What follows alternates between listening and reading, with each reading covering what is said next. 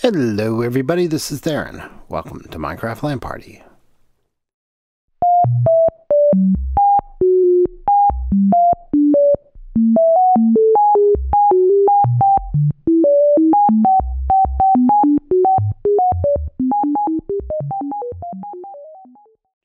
Hi, how are you doing?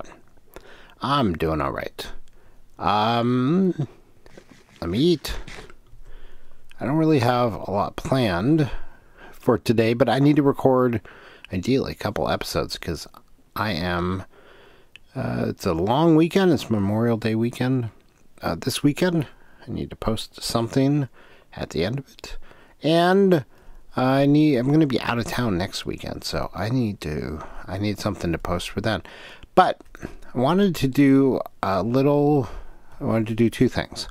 One is talk about uh, Maker Faire, which was last weekend, and the other is do a little tutorial on mining because um, having an interesting little discussion with Lawrax on the server um, about the best way to find diamonds. And this isn't original by any means, but this is how I mine.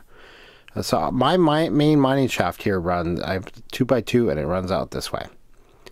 And when I need to go back home, I just put torches on my left and go there to the end, and then I go up to my place. And then I, I carve off little side branches every 11 blocks. See from here, it's two, four, six, eight, ten, and then on the 11th block, I dig in. And I alternate them so that they're not facing each other because if if you're running from here and it goes straight across to the other, you might actually miss that this is the main hallway. So I just then do these little branches. Here's my current branch. And I put torches down on the floor in front of, oh hey, Eric's on.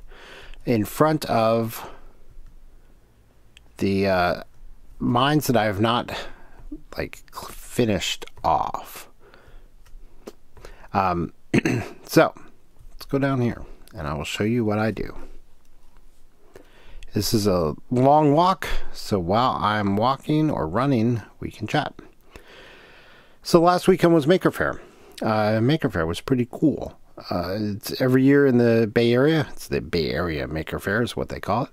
It is in at the San Mateo County Event Center. It used to be the county event, the county fair, county fairgrounds. That's what they called it. Anyway, so it is. Uh, it's every year late May, like just usually the weekend before Labor or Memorial Day, I think. And this year it was the 18th through the 20th. I went up with Crash Space. We had a booth, and there were five of us who went up and, and worked at the booth, talking to people and showing off things. We had various projects. We had a, a group project, which was the Crash Bot, which uh, Barb makes things actually sort of led the effort on and making. Um, so it was a little robot that had an LED panel for a face, and it had a little flip booklet in its body, and it had arms that moved. It was pretty cool. And they were still working on it during the fair, so people actually got to see the uh, the making in progress. And uh, yeah, so that was uh, that was like the new big thing that we had that we were showing. Um, a new version of the levitating water fountain. didn't entirely work out. It was connected to a little dispenser, so and the water fountain it, it's a it's a fountain of water that drops drips of water, and then there's a bicycle pump attached to it, and when you push on the bicycle pump, it slows down and then it reverses the water so the drops flow upward which is pretty crazy to see. Um, and they, they had a little game set up so that when you there was when you pushed a button to play the game, it put a little range. There were some LEDs on the side and put a little range of LEDs, and if you could keep it uh, in the LEDs in the that range of LEDs for a certain amount of time, it would dispense a little a little token, a laser, little laser cut crash space token. Um, it wasn't the most intuitive thing. I think the game needs a little bit of tweaking. So they disconnected it and just had it so you push on the, the bicycle pump and it the water reverses. And uh, set up the dispenser as a separate thing.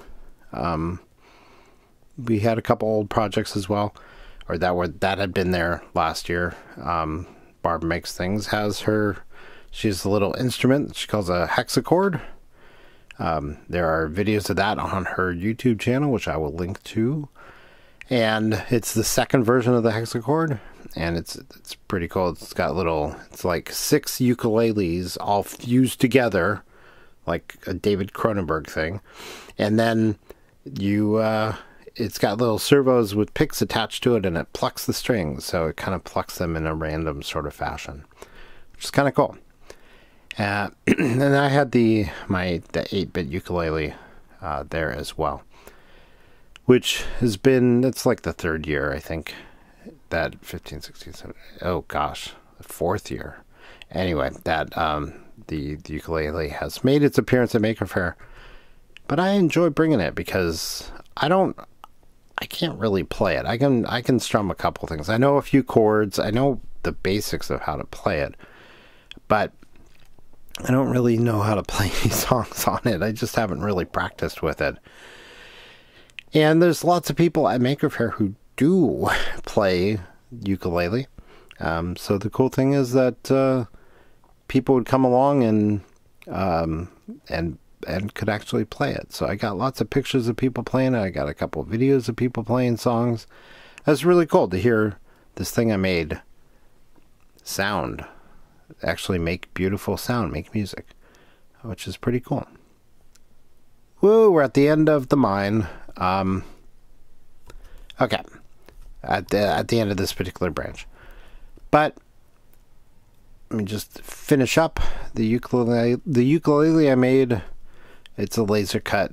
It's all laser cut plywood and mostly laser cut plywood and a few things. I made it with all basically all the tools at at uh, Crash Space. so it's uh I don't know. It's a fun project, and I'm actually now making plans on redoing it or making another one out of some nicer wood because uh, it's you know it's plywood. It's not it's not the greatest thing in the world, and plywood is probably the worst possible wood you can use to make a, a stringed musical instrument out of because plywood doesn't resonate very well. And so if I get some decent tone wood, it should. Okay, let me eat here again. Okay, here's my philosophy of mining. So I am standing at, if I put on F3, uh, my, my Z is 12, and if I look down, I'm looking at 11. And that's pretty much where you want to be because the lava lakes tend to form at this level and so you're not you're not likely to dig into the side of a lava lake it's possible it does happen ran by some obsidian back there which is exactly what happened and see I'm, I'm not digging out huge area i'm not digging out the whole area like over in the big dig which is a perfectly acceptable way of doing things if you have a beacon set up but this is trying to dig as little as possible to maximize finding as much stuff as possible. Down here, because diamonds can can generate all the way down to the bottom of the world and up a little bit above here. So we're kind of in the middle of diamond range. Diamonds are the hard thing, so that's what we're uh, we're trying to maximize for. Everything else is bonus.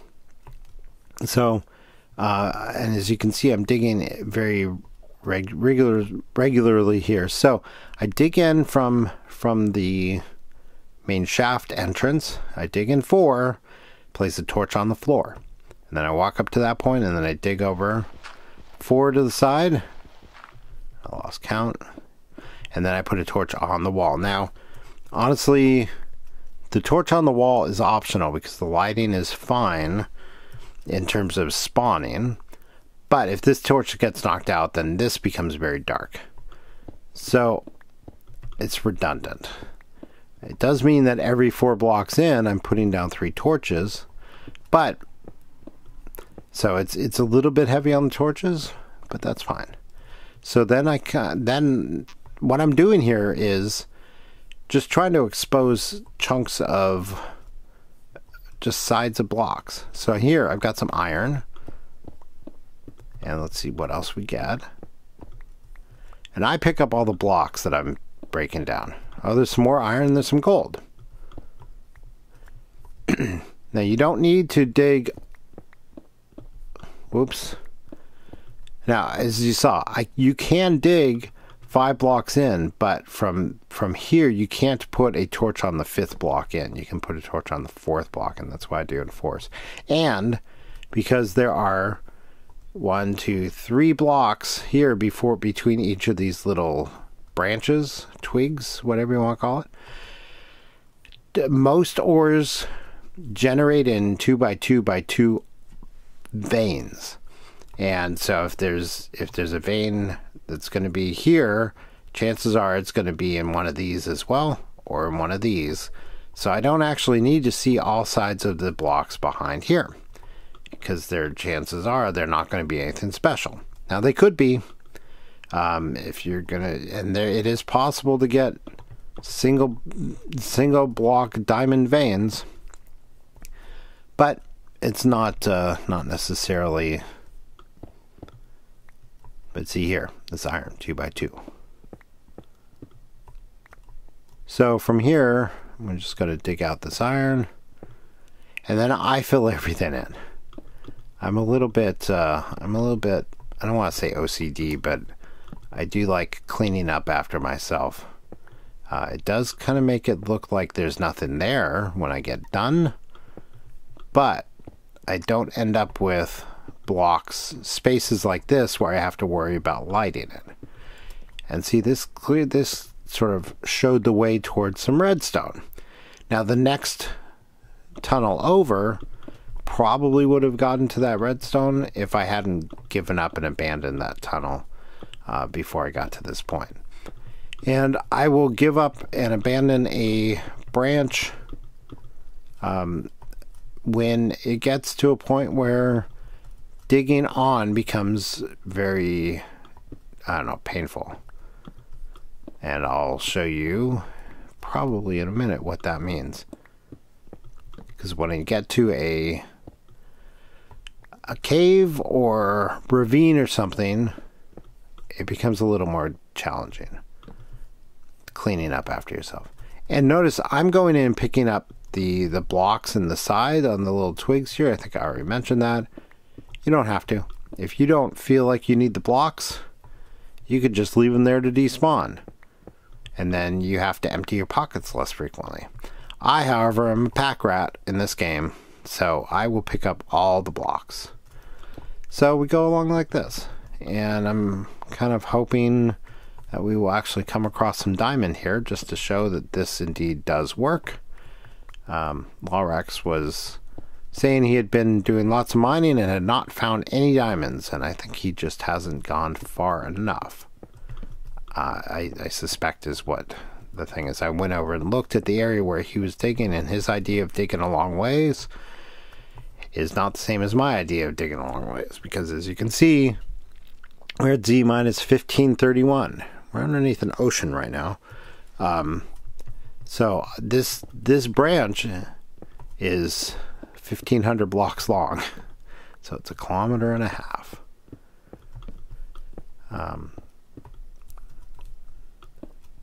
and it is entirely possible to dig for quite some time in this game without finding diamonds.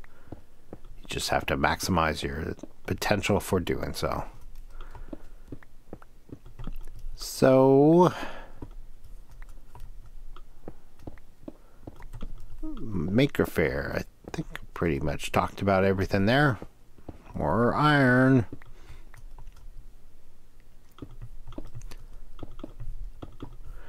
Oh, one, two, three, four. There we go. So yeah, Maker Faire was good. The uh, the the ukulele is an open source project. I have not yet posted the the the plans, the the files that you know anyone could use to make one. I heard a bat. That must be near a cave. Um, to the website. Uh, so I, I, was giving out my email address and uh, oh, cave. Okay. So this is have to be a little careful. Hi, Mr. Bat. Whoa! Distracted by the bat.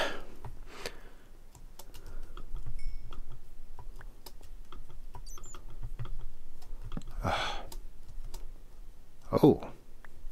This goes up a bit. Have to be a little careful not to get lost.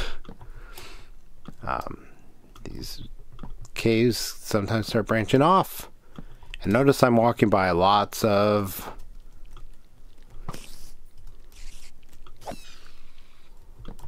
lots of uh, ores. Hello.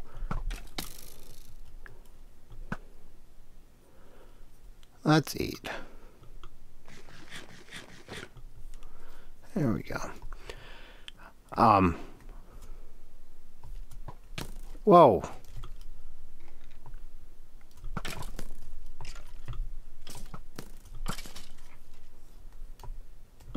Those skeletons don't often miss when you're on hard mode.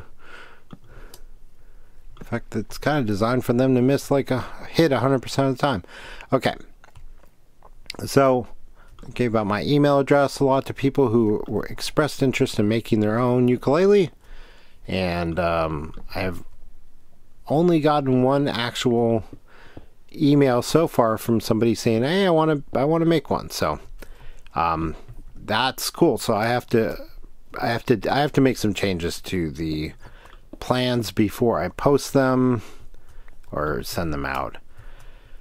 Um, people it's interesting. People kind of expect looking at it like, "Oh, how much do you charge for them?" It's like, "I'm not selling them." They're a lot of work to put together. And when I described it uh, my my jokey response when people ask me how long it took me to build is I said, "Oh, about five years," which it kind of did. Oops. Um, but uh, I don't expect somebody else to take five years because I spent a lot of time setting it aside and just sort of work, you know, working on other things. And um, when it when it came down to actually building it, like after I had cut all the individual pieces that go into it, um, it it was about two weeks of work to assemble it, which is about right for a ukulele. Um, if it's being prepared in a traditional manner, which this one was, uh, it was just kind of funky. It had a kind of a funky shape to it. So, um, and the next one will actually not go any faster because the uh, hello, Mr. Bat. I want your head. These bats are annoying. Okay. Um, because I want to. The next one I want to build out of a nice traditional ukulele wood like koa. Um, I'm also considering mango, which is gorgeous wood. Uh, and I want to finish it properly, which kind of means uh, doing uh, shellac and hand polishing in multiple layers of shellac. So it's that's going to be, and I've never done that before, so that's going to be an interesting, uh, interesting learning curve.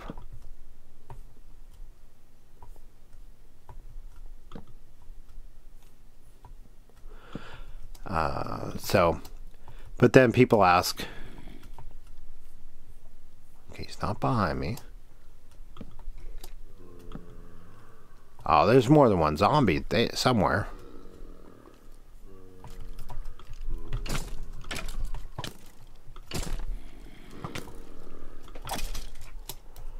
Hello, Mr. Zombie. Oh, and the world comes rushing in. Oh, don't let them get around you. Okay. We're okay.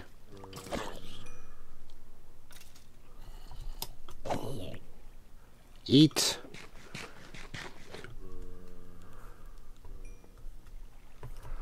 Okay, there's not going to be anyone up there because it's there's lava. Oh, sorry for that. Crackling in the right channel if you're hearing it. Is there a zombie? Is there a spawn over here? Or was it just a pack? Plus the uh, social spawning. Okay. Uh, okay, back to story. Sorry. Uh, people ask how much I'm selling it for, and then I'll tell them I don't. I'm not selling them because I would have to charge a lot of money uh, to cover materials and time and all that good stuff. Okay, we're going to ignore the zombie sounds. One, two, three, four. And hello, Mr. Bat, I really want your head. Okay, so when I come to caves like this, pop, pop, pop, pop, I then actually build out the tunnel into the cave. And if I run into a ravine, I build it out across the ravine. So when you're in the ravine, if you enter it from a different direction, it becomes really obvious what's going on, at least to me, if you know what I'm doing. Uh, but it's not necessarily... Ooh, gold. Not necessarily, uh, I don't know. It, one, two, three, four.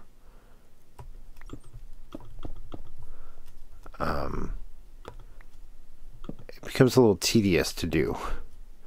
And uh, it ends up being a little bit resource intensive because you have to have all these blocks. Uh, and then sometimes you I run out. I like using the regular stone, and sometimes you run out. Anyway, so it becomes a little bit of a pain. And if I come across a big enough cave area, or the caves become too much, where it's like all I'm doing is uh, building building new tunnels, I just I kind of get sick of it. And I will place a torch on the wall at the end of this branch and move on. That's the way I do it. Oops. Which may be different from the way you do it, which is perfectly fine. Don't claim that it's the best approach. It just works for me. Okay, back to the ukulele. so people ask how much I'm selling them for. I say I don't sell them. And then they're like, oh, I'm like, but you can build one. It's open source, which is a little bit of an odd concept for a musical instrument. Um, since open source typically refers to software and or computer hardware like electronics uh, and it's not the most sensible thing in the world when it comes to electronics, as it turns out. Um, there is a alliance of electronics people who believe in open source, the whole open source philosophy, uh, called the Open Source Hardware Alliance, I think. Um, and so they they sort of launched three, four years ago, four or five years ago, something like that, and and and but they don't have their own specific license that they use. They just sort of say, "Ah, we expect that people will use a, an appropriate license." Oh, I don't need these torches either, or arrows. So that's uh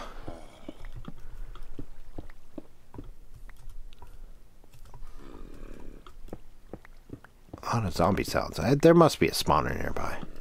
Anyway, um, so so I put the open source hardware logo on the ukulele on the inside, where a manufacturer might normally put their logo, and was talking to Windell um, of Evil Mad Science Labs, and uh, he's one of the board members of the Open Source Hardware Foundation and he was tickled pink when he saw that. And he was like, Oh, you're going to release the, the source? I'm like, Yes.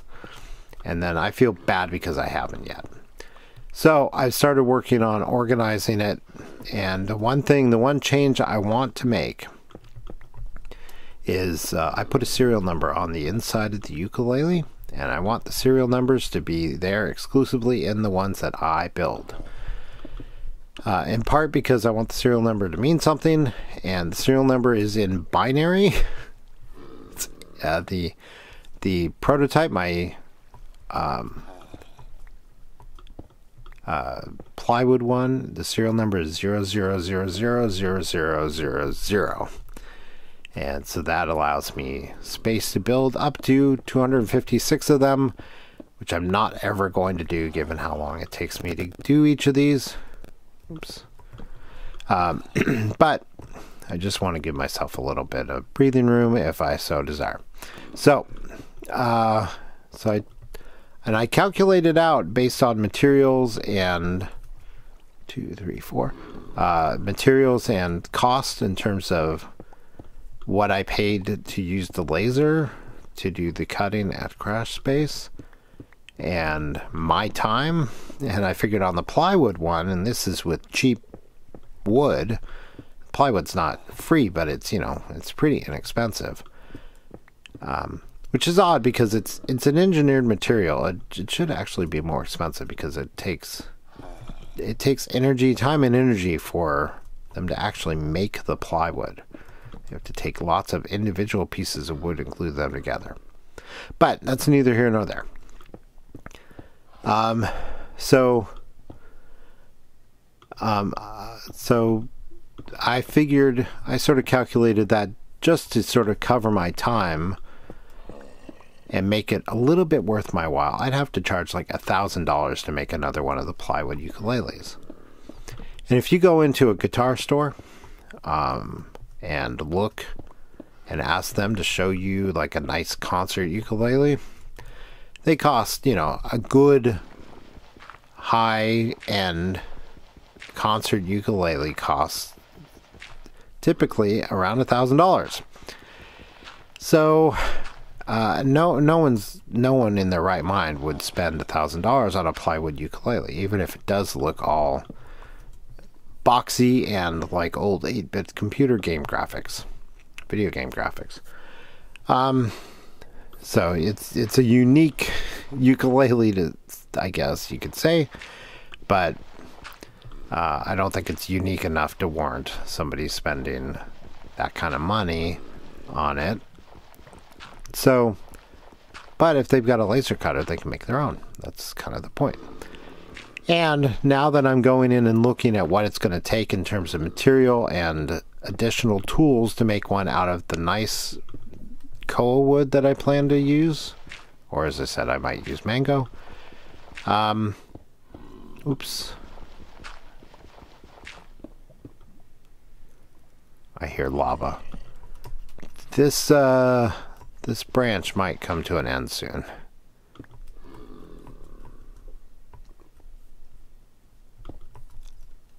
Depending where that lava is. You always have to be careful with falling gravel because there could be lava on top of it. So uh, I went through and sort of figured it out and looked at what what it's going to take me to actually do it, do the the next one the way I want to, and I think I would have to sell it for more than a thousand dollars. But given how oh, there's the lava.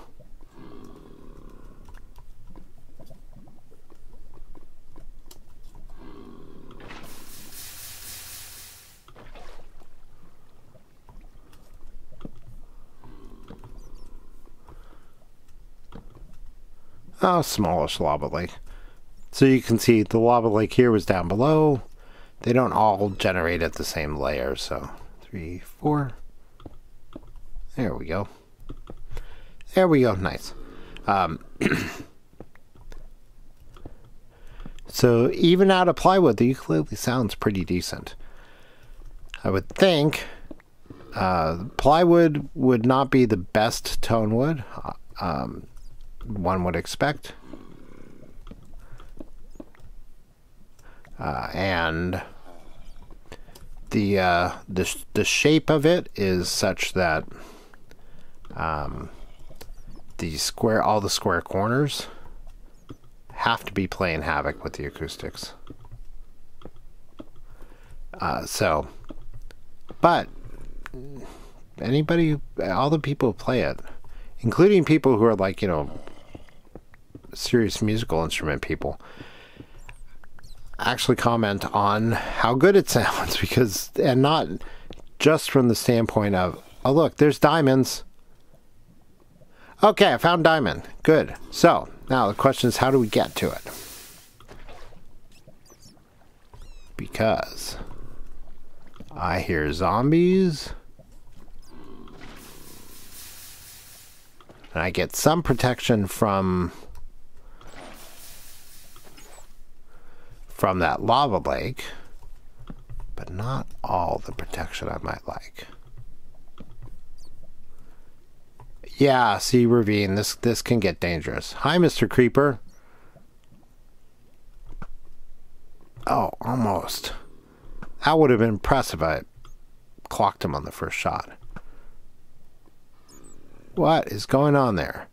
Is he behind a force field? There he goes. Okay.